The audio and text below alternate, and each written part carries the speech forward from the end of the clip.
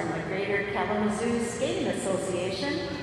Let's hear it for Margaret Letcher.